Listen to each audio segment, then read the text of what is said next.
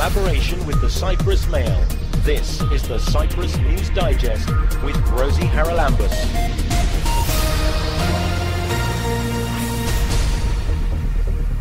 Coming up this week, can the Cyprus rugby team, the Mouflons, extend their record breaking run of wins against Hungary? Our finances are, are so uh, restricted that we may not be able to bring all of our overseas players over for this particular game. The Pharos Chamber Music Festival kicks off next week. There is now an awareness that cultural tourism and niche tourism is very important to change the image of the island and to rebrand it. The Home for Cooperation in the buffer zone celebrated its third birthday this week.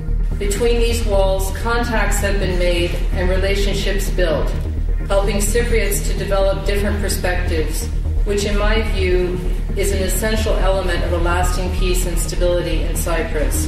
And Turkey has been ordered by the European Court of Human Rights to pay 90 million euros compensation to Cyprus. So that the Cyprus government, acting in fairness, will compensate Turkish Cypriots who have been harmed by the events over the last uh, 50 years on exactly the same level as Turkey is paying the Greek Cypriot relatives.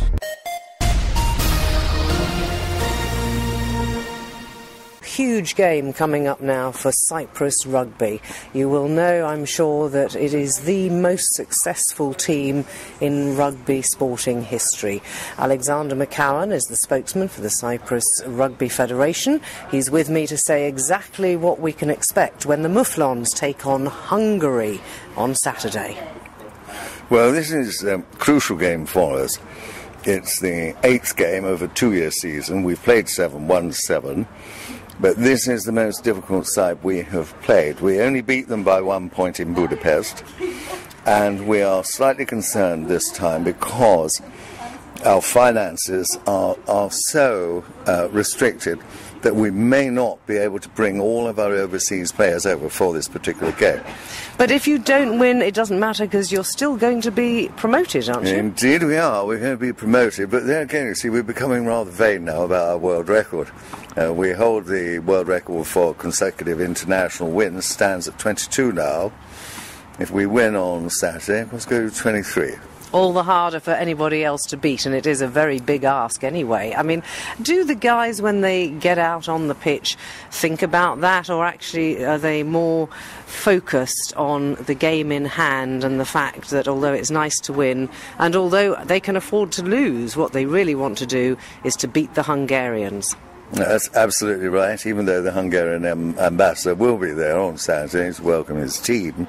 And whilst we all say we totally concentrate on the game in hand, if you look at our publicity photographs, you'll notice we always seem to have a banner ready after the game, which says uh, world record holder of well, 21, 22, and of course, I'm sure there will be a banner ready after the game on Saturday, say, winner of 23rd uh, consecutive win. So we do have it in mind, and it is rather intriguing. I think when you look at the pool that we call upon in, in this country, we have probably less than 100 players worldwide to call on.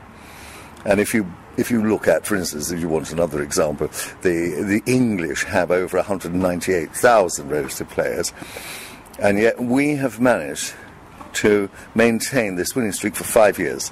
Which is quite extraordinary. So let's look at next season because you are going up. It could be the Hungarians go with you, couldn't yeah, it? Yeah, they could. Um, yeah. So who will who will be in the pool for the next season? Well, they they have an interesting situation at the moment because they've got playoffs for the, those to be demoted.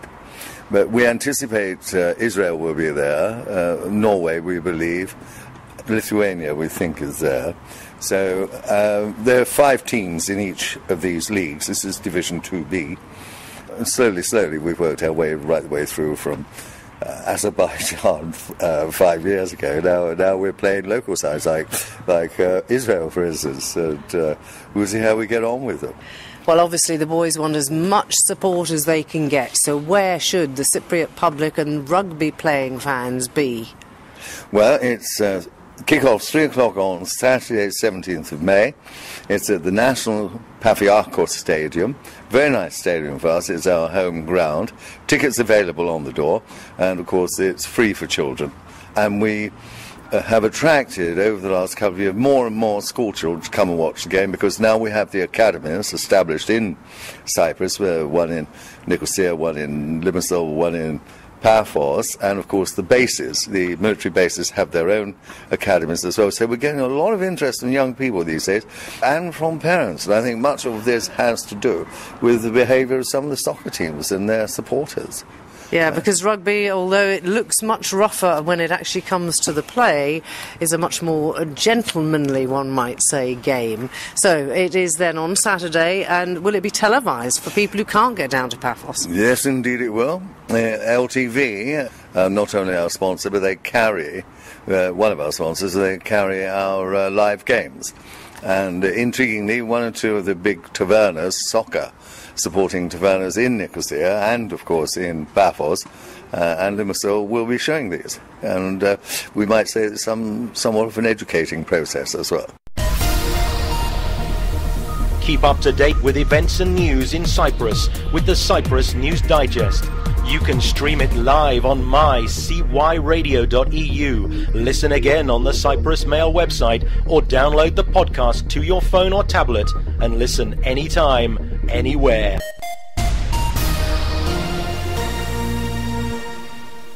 Music lovers are going to be thrilled to know that a week tomorrow, the 14th International Pharos Chamber Music Festival kicks off. The performances will be taking place at the Royal Manor House in Kuklia and at the Shoe Factory in Nicosia. Both of them venues well known to lovers of classical music, as indeed is my next guest on the programme. From the Pharos Arts Foundation, Garo Keheyan. Garo, 14 years. Did you ever think when you started this that it was going to take off the way it has and become the feature on the calendar that it has? Not really, Rosie. Uh, things have a, a, a, way of just developing and growing organically, uh, as indeed the foundation has, has grown over the years. And as you know, of course, it's, uh, Cyprus is in crisis, and uh, we, along with the island, are in crisis as well. It's very, very difficult to maintain the foundation and the festival when um, so much of the funding has evaporated. But uh, yeah, 14 years is, is, a, is a chunk of time, and we hope to be able to, to continue and reach uh, our 20th anniversary in six years. You've attracted, I think, a lot of interest abroad because this now brings people to the island, and we've heard so many times that we need more visitors, particularly in the off season. Have you got any connections with the Cyprus Tourist Organisation or indeed other groups who are mm. doing something a little different than the sun, sea, and sand holiday?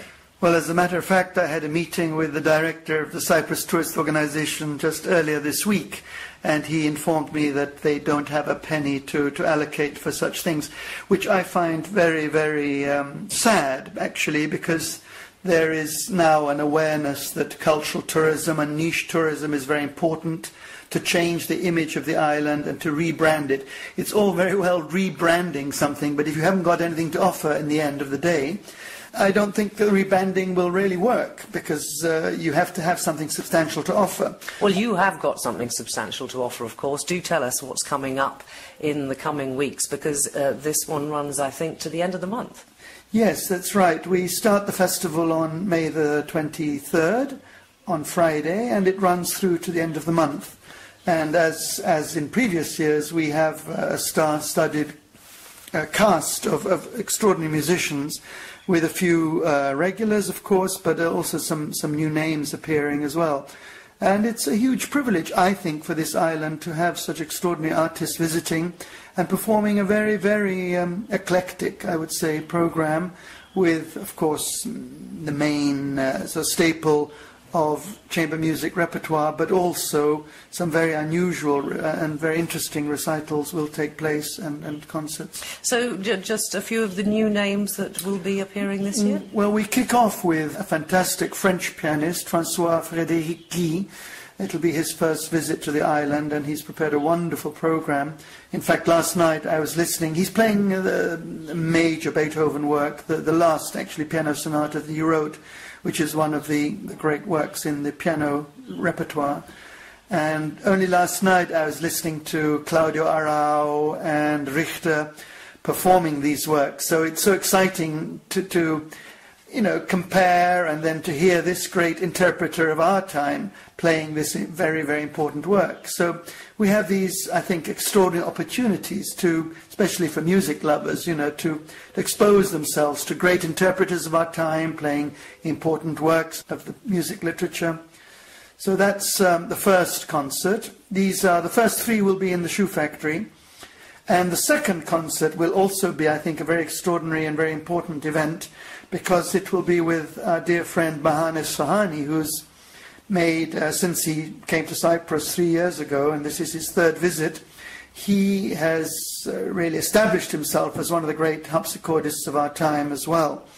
And he's got a fantastic program of uh, Baroque uh, music for the harpsichord with well known figures like Frescobaldi and Scarlatti, but less well known also um, composers like Merula, Storace, and Kuhnau, who was the predecessor of J.C. Bach at the uh, Thomas Choir in Leipzig, which brings me on to the second, a third concert, which will be the great a cappella male uh, choir from Leipzig, who are all graduates of the St. Thomas Choir, this famous boys' choir from Leipzig, and they will give um, a concert in, in the uh, Shoe Factory on Sunday, the 25th of May. Now, it's a, a packed programme. Then, of course, it moves to that gorgeous uh, venue of, at Kuklia in Paphos. How many concerts have you got down there, very quickly? We've got uh, five concerts in Kuklia, and then we've got four concerts in the Shoe Factory. We end the festival with a, a final concert on Saturday, the 31st of May, in the Shoe Factory with Yevgeny Sudbin, who is also known to Cyprus, has been here before, and again is one of the great pianists of our time, together with uh, Alex Chaushian, the cellist, who was the artistic director of the festival, a co-artistic director of the festival. And all of this information I know must be up on your website, but uh, tell us about the ticket sales and uh, where people get them, because you did in the past do season tickets, didn't you, for all the concerts? Yeah, but we have, uh, you know, trying to uh, do our bit to encourage people to, to come. We've reduced our ticket prices to 10 euros, which is absolutely, I think, rock bottom. I mean, it, it would, if we were to to, to cover our costs, we would need to charge 100 euros per ticket. So, you know, it's a symbolic, uh, let's say, uh, ticket. And uh, they can be purchased, I think, online. And I would encourage people to, to reserve in advance because both venues have limited seating. So I'd very much encourage people to book in advance so they're not disappointed. And uh, the website, I think, where people can get all of this is pharosartsfoundation.org. Correct. So if you want to find out more about the 14th International Pharos Chamber Music Festival, kicking off uh, on the 23rd of May, going through until the 31st, then do check out the website. You can book online. You can also book at a box office number which is 709304 between 9.30 and 11.30 in the morning. In collaboration with the Cyprus Mail, this is the Cyprus News Digest with Rosie Charalambous. The biggest achievement of Crime Stoppers has been the ability of the public to be able to give information about crime anonymously. There's no way I could have kept prostituting without the drugs. There's no way I could have had my body used like a public toilet because that's actually what prostitution is. And then the fourth series I started three days after I'd won the Oscar. So the whole of the Monarch of the Glen experience was all interplatted with the Gosford Park Oscar experience. I was working with Ronnie James Dio, and David was going to reform Whitesnake in 2003. Cyprus was chosen because Cyprus is a stable, peaceful, and uh, secure place. We have to really look closely what are we doing with children, what are we doing with adolescents, and what are we doing with adults that can help them move into a more literate uh, situation. The ones that I'm proudest of are the ones that were true discoveries, where we found something we didn't know existed.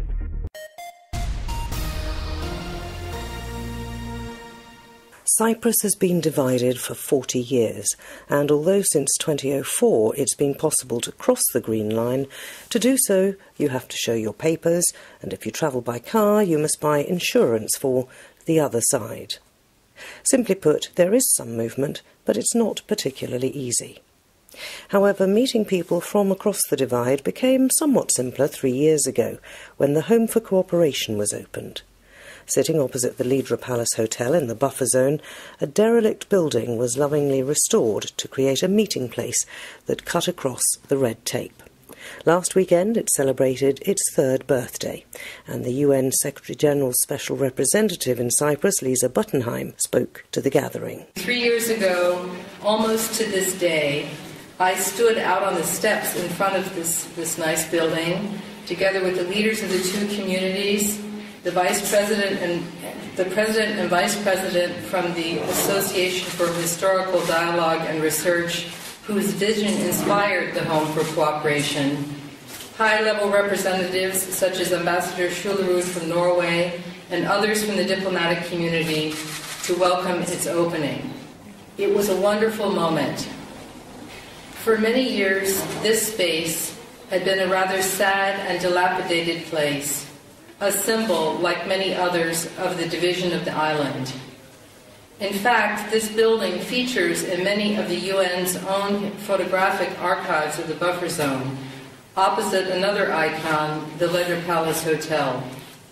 Today, however, the Home for Cooperation stands restored and vibrant, making its own mark of renewal and encouragement along the path to resolution of the Cyprus conflict.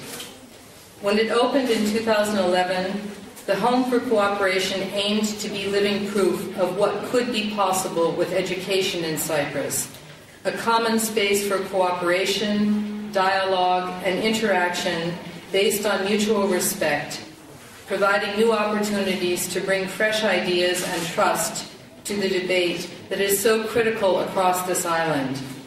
Now it is no longer an aim or an aspiration, it's a reality. Over the past three years, many people have passed through your doors, sharing ideas from different walks of life, listening to each other's visions, searching for solutions to interconnected issues and problems. Between these walls, contacts have been made and relationships built, helping Cypriots to develop different perspectives, which, in my view, is an essential element of a lasting peace and stability in Cyprus. We know that the two negotiators here with us today, my good friends Andreas Mavroyiannis and Kudret Ozersay, have met at the Home for Cooperation to discuss the way forward, and they meet here without the United Nations. This shared common space allows for such encounters. The utility of such an excellent facility aside, what I find genuinely heartening about this space is the access for all Cypriots. The United Nations has consistently underscored the importance of a vibrant and engaged civil society and an informed public in moving the peace process forward and in ensuring the sustainability of a future agreement. The Home for Cooperation has played and continues to play its part in advancing these efforts and ideals. Also addressing the event were the two negotiators, Andreas Mavroyiannis and Kudret Ozersay. I spoke to Mr. Mavroyiannis afterwards and asked him whether having such a venue made his job easier. Certainly, and uh, personally, I'm all in favor of whatever comes from the grassroots. I believe that what we are doing in the political process is one thing, but what is happening between people in the civil society, grassroots, is most welcome and it needs to be a parallel track and not necessarily have to have the blessing of the political leadership. So it should be the other way around. We need to take into account whatever happens in the civil society and their input is very important and is increasingly important. And does it mean that there is an impetus now. I, am getting the feeling, I know we've so many times yes. had our hopes raised that something really will happen this time, but there does seem to me that this time there is this groundswell of opinion of people saying, surely the time has come.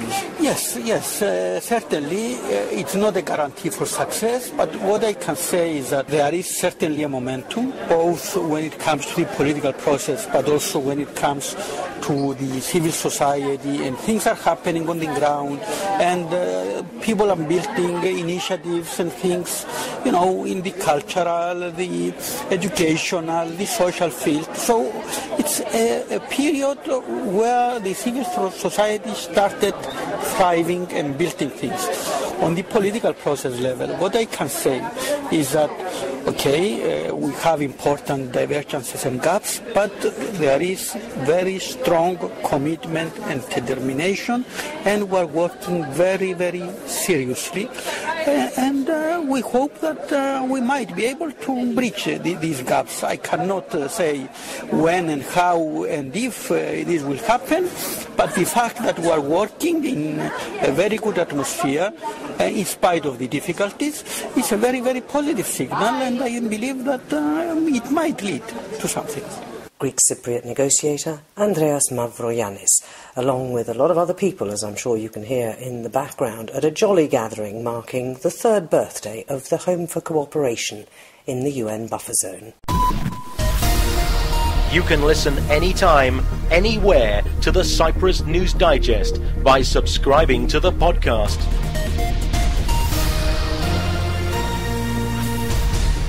The European Court of Human Rights ruled on Monday that Turkey should pay 90 million euros in compensation to the relatives of the missing persons and to the enclaved Greek Cypriot residents of the Karpas Peninsula.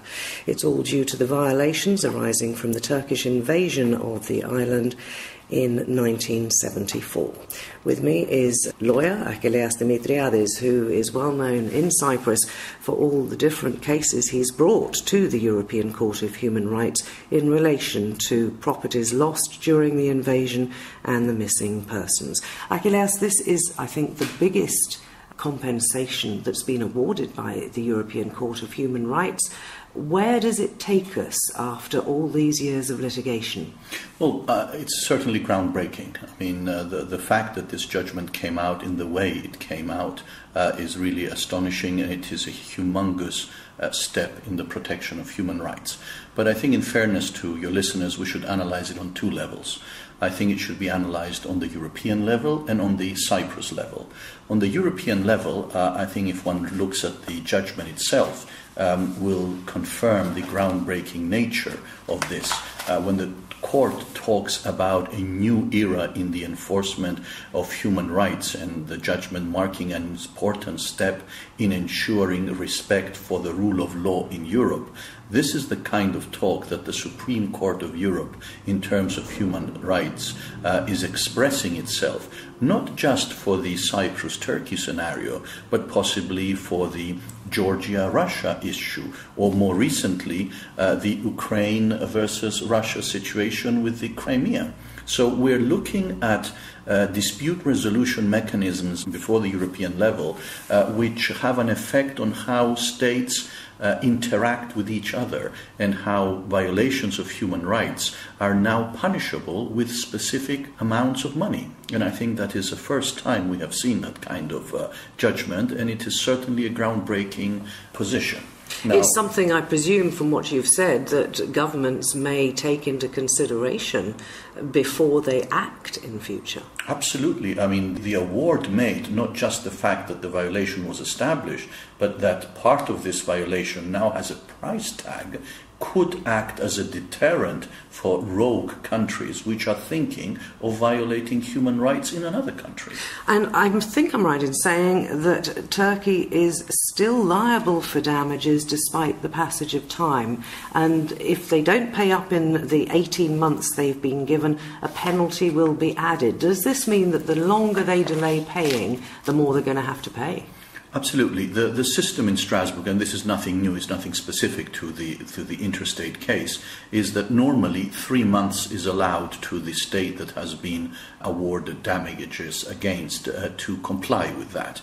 And if within those three months there is no payment, then there is interest at a rate which is three percentage points above the European interest rate. Currently, that is about 1%. So, if Turkey does not pay within the three months, there will be at least a 4% interest charged on the amount. I think that's fair. It's something that has been going on in Strasbourg for a very long time, and uh, the country that has an award against it cannot get away by not paying and therefore enjoy an interest free loan. So we have that. Of course, nobody wants to go on uh, not being paid just because the interest is good. I think the important thing is to concentrate on how people uh, will make Turkey comply with this judgment, which is And not can- an easy job. No, can they make Turkey comply? I mean, it, they Well- took a very long time to pay Tina Loizides, didn't well, they? Well, yeah, but th- doesn't this case remind you of that? I mean, the statements that are coming out of Ankara in terms of this judgment does not bind us, this judgment is legally flawed, and that sort of thing,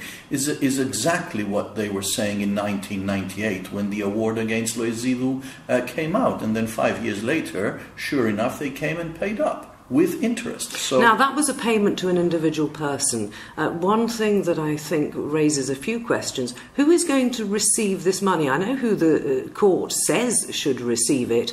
Is that going to be, assuming Turkey does pay up, what do they do? Write a cheque to the Cyprus government, and it's up to the government of the day to hand it round to whoever is entitled? Well, it's uh, there's two issues you raise. The first issue is whether Turkey is going to pay the Republic of Cyprus because Turkey says that the Republic of Cyprus does not exist. So it would be rather strange for it to pay 90 million to a state that it does not exist. But I think there can be solutions to that. Uh, the point is that Turkey has to cough up 90 million plus interest. Now, how does the Republic of Cyprus deal with the distribution? The judgment has already pointed that out. It has 18 months from the date that the money is received to set up a system under the supervision of the Committee of Ministers to distribute the funds to the people that are entitled to that. And that is 1,456 families of missing persons as identified in the judgment, which among them will have to split 20 million, and the other 60 million will be given to the enclaved. Now, the question is who are the enclaved? And we have two limits as to that calculation. The first one is 1974, when there were about 20,000 uh, enclaved in the Karpas uh, Peninsula, and today, where there's just over 300 people left in that. And there will have to be a policy decision to be taken as to what will be the time which will be considered as the one applicable to determine the number of people that were in fact enclaved and perhaps one will adopt 1994, which is the date on which the application was filed before the court. But people should rest assured that if their relatives were living uh, in the Karpas Peninsula and they were enclaved and they have unfortunately passed away, that is an inheritable right and the heirs should be entitled to whatever compensation is finally handed down to the people who are entitled to this money. Now, we've been talking about the enclaved and the missing. You, of course, deal very extensively with the property issue. Does this have any bearing at all on how things proceed in that direction? Well, it has a huge bearing in that it has now clarified that the setting up of the Movable Property Commission in the occupied areas uh, after the Demopoulos judgment is no bar uh, to the continuing violation that Turkey is committing for property rights. Uh, to put it in the positive, just because Turkey has set up this commission is no longer absolved from the liability that it has because of the continuing violation of Greek Cypriot property rights in the occupied areas. So just because there's this committee set up doesn't mean that Turkey should not stop from giving out properties to foreigners and selling Greek Cypriot land and all those things which have established the violation so far. So it's a very important judgment in that respect uh, because it is now clear that even though the Property Commission has been set up, this in no way changes the obligation that Turkey has to stop committing the violations. And then, of course, we also have to look at the fact that if we're talking about missing people, there are missing people on both sides of the divide.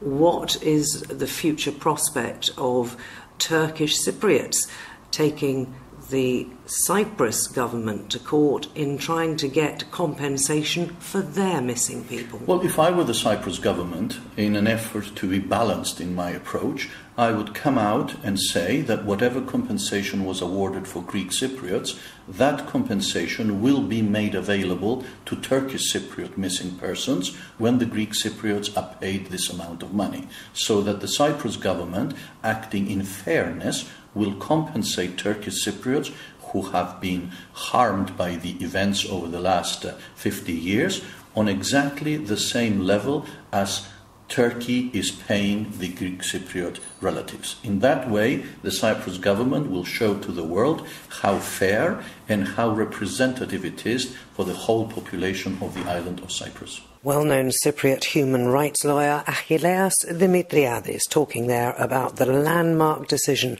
of the European Court of Human Rights this week.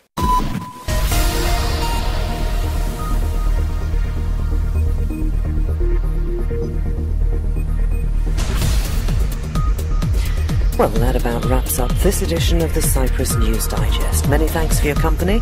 Hope you'll join me next week. Till we meet again, take care and God bless. Bye bye now.